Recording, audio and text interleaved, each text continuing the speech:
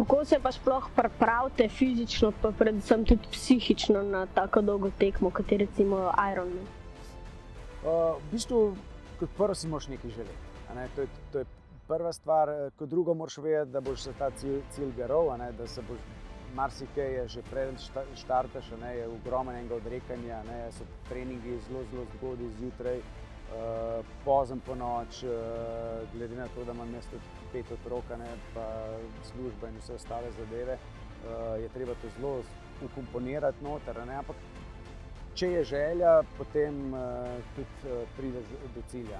Peč fizično pa enostavno trening, trening, trening, seveda na tak način, da, da ne ogroziš ostale segmente v življenju. Ne? Se pravi, da, da ne daš na stran vem, družine, da ne daš na stran službe, ampak moraš pač poleg družine, pa poleg službe, najti čas, najti uh, motivacijo uh, za to, da narediš en trening.